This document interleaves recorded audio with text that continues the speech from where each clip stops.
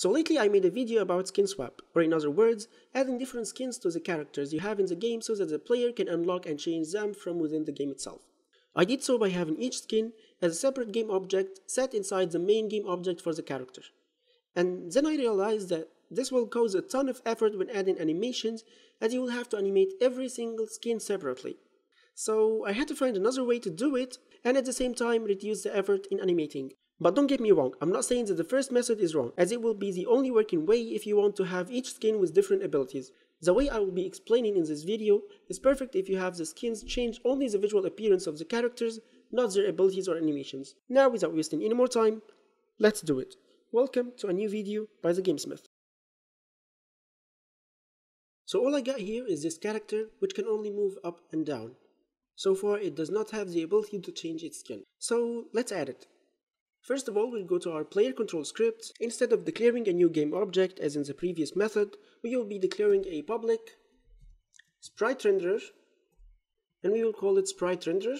After that, we will need to declare a public sprite and we will call this one skin1 followed by another public sprite skin2 after that, we will need to declare a bool and we will call it sprite1 active.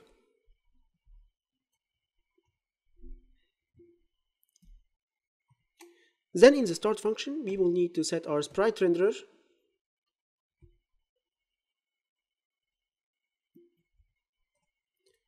Dot sprite to be equal to our skin1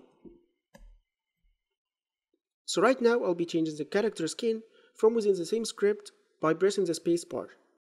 But please note that you can also do this from a totally different scene just by calling the sprite1 active bool from this script.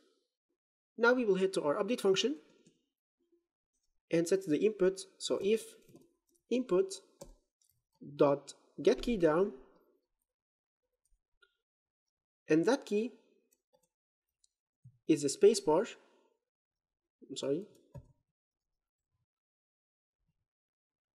Now we will need to set the sprite1 active to be equal to not sprite1 active. So this will change the value of the sprite1 active from true to false and vice versa whenever the player presses the spacebar. Now let's continue. Then we will need to check if sprite1 active is true. In this case, we will need to set our sprite renderer to show the first skin.